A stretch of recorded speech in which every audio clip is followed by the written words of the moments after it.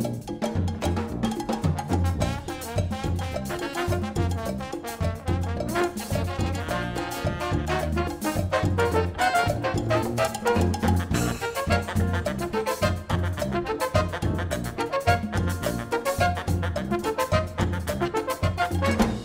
fin, que la France se porte bien, il faut prendre des armes, fabriquer plus de voitures, produire de l'huile de flammes, c'est là pour l'aventure. A quoi ça sert d'organiser la COP 21?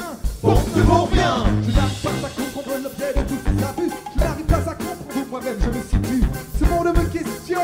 confus, j'en ai plein la tête et je suis perdu.